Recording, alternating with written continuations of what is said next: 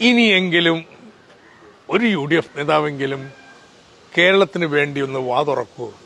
കേന്ദ്ര സർക്കാർ പോലും സമ്മതിച്ച കാര്യമാണെന്ന് ആഴ്ച രണ്ട് കഴിഞ്ഞു.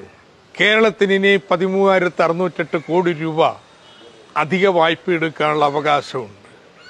തർക്കമുള്ള കാര്യങ്ങളൊക്കെ മാറ്റിവെച്ചിട്ടാ കോടതി പറഞ്ഞിരിക്കുന്നത് തർക്കമുള്ളൊന്നും കൂട്ടിയിട്ടില്ല. അതിനാ കേസ്.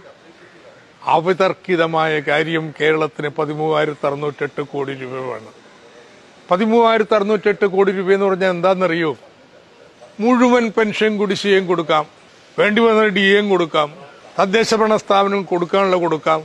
ഒരായിരം കോടി രൂപ നമ്മുടെ കൺസ്യൂമർ ഫെഡിനും സപ്ലൈകോയ്ക്കും നൽകാം.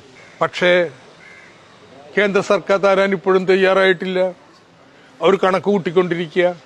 ഇത് അന്യായമാണെന്ന് കേരളം ഒറ്റക്കെട്ടായിട്ട് പറയണ്ടേ? സുപ്രീം കോടതി ഇന്നലെ പറഞ്ഞത് എന്താണെന്നറിയോ? ഇത് മാത്രമല്ല ഒരു സംസ്ഥാനം ഗുരുതരമായ പ്രതിസന്ധി നേരിടുകയാണ്. കേന്ദ്രവും സംസ്ഥാനവുമുള്ള തർക്കങ്ങൾ തമ്മിലാണ്. ആ തർക്കം കോടതി തീർക്കാം.